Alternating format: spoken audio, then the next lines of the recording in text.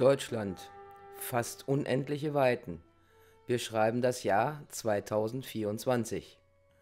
Mit dem als Kraftfahrzeug getarnten Yeti und dem Captain auf der Brücke geht es heute zu den sieben Steinhäusern auf dem NATO-Truppenübungsplatz Bergen.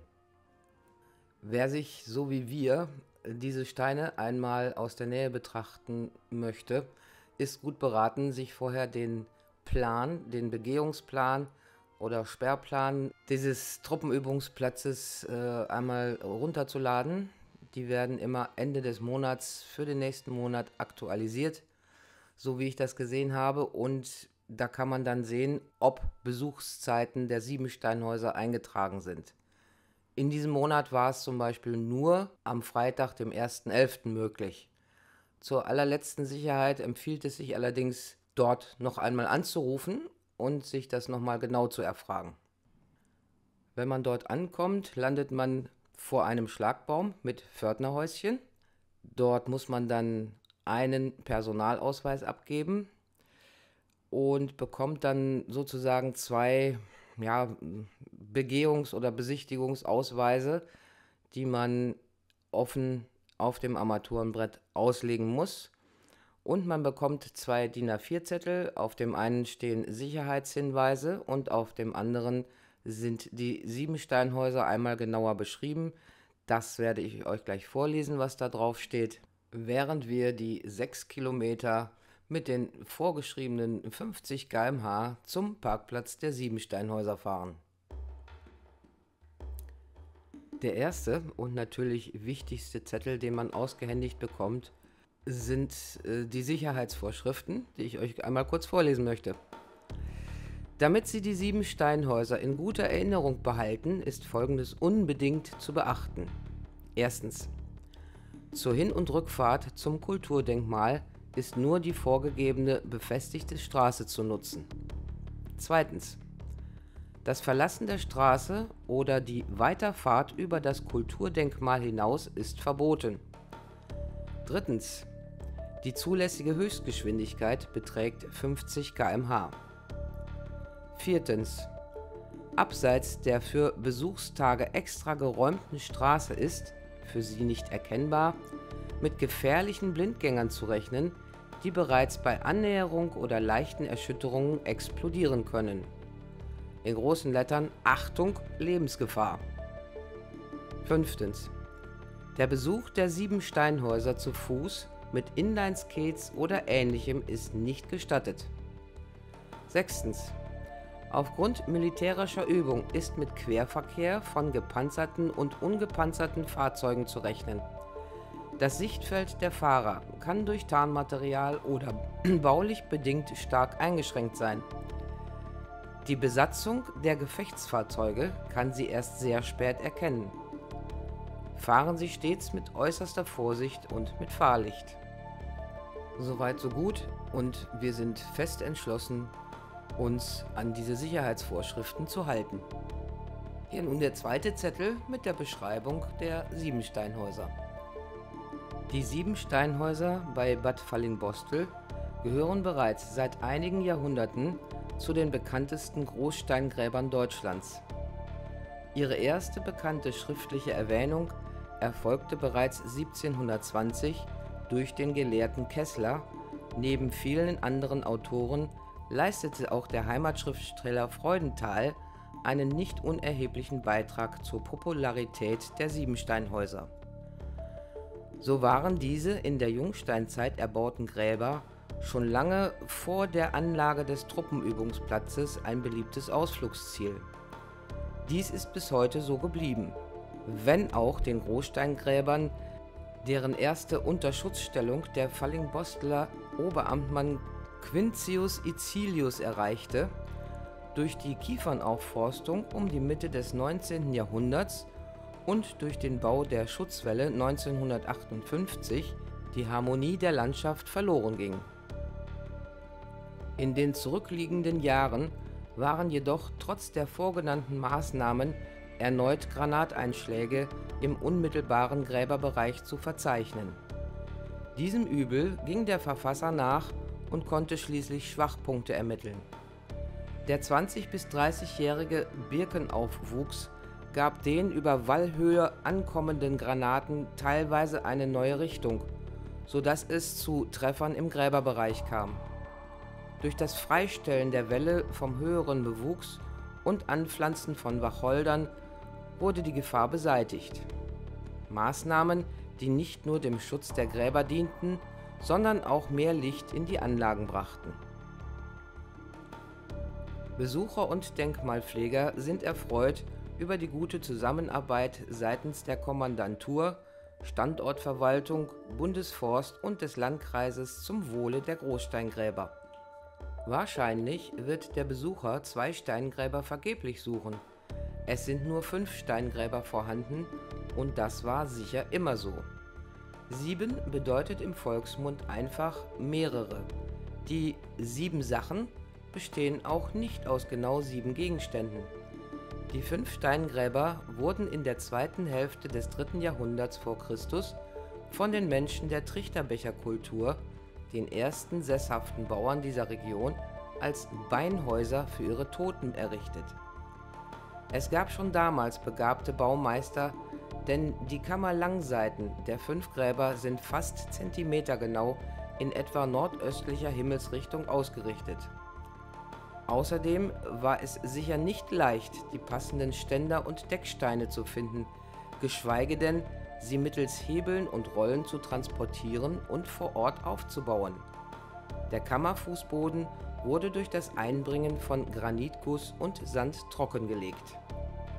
Alle Fugen zwischen den großen Steinen wurden durch Trockenmauerwerk, heute nur noch in unteren Bereichen sichtbar, in einer passgenauen Technik verschlossen, welche der heutige Steinmetz nicht mehr beherrscht. Nach der Erstellung des kleinen Zugangs, deshalb Ganggrab, in der Mitte der Südostseite der Grabkammer wurden ringsherum Kranzsteine gesetzt und der Raum dazwischen wurde bis über die Decksteine mit Erde befüllt. Dies ist in Resten auch noch am Grab D sichtbar. Zu alledem brauchte man Erfahrung und ein umfangreiches Wissen, sonst hätten die Bauten nicht Jahrtausende überdauert. Während das Grab D vom Typ her Parallelen zu französischen Grabanlagen zeigt, lassen sich die anderen vier Gräber dem Elbe-Weser-Dreieck zuordnen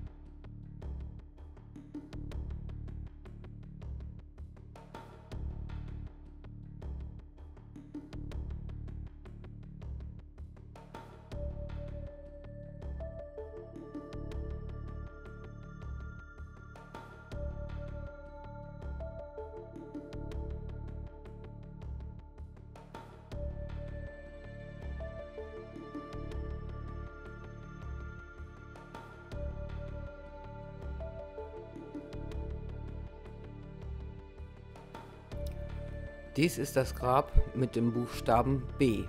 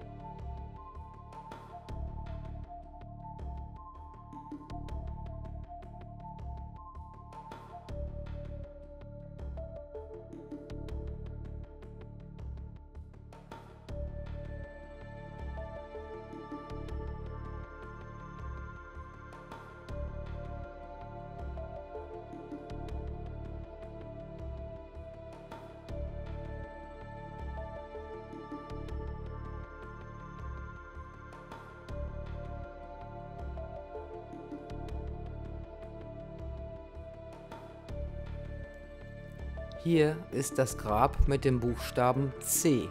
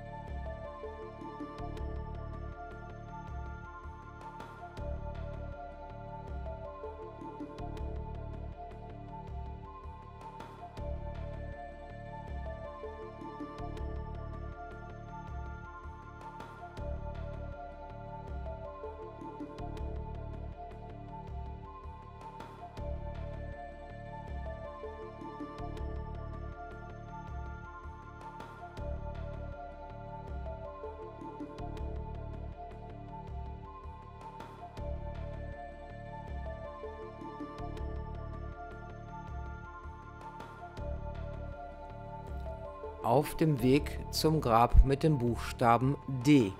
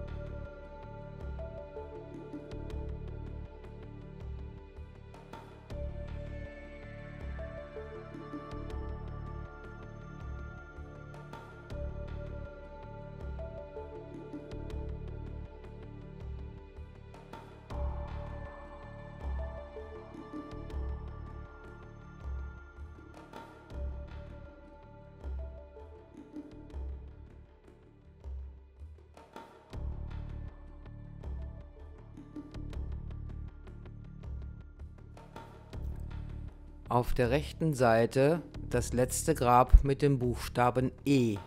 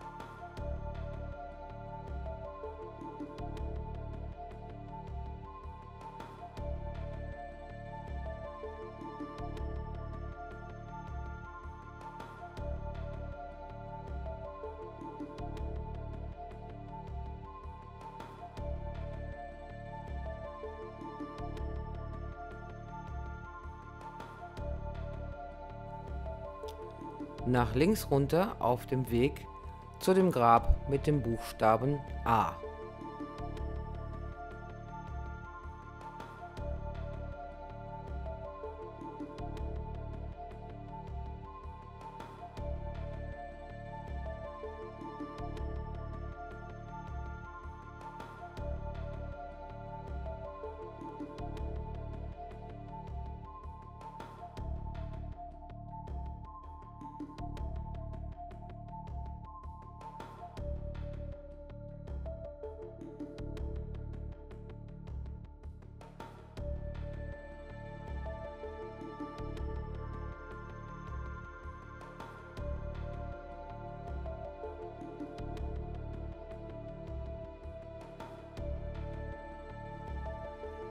Wir sind hier gerade auf der Innenseite vom Grab A und hier ist ein Stein, der offensichtlich Gravuren beinhaltet.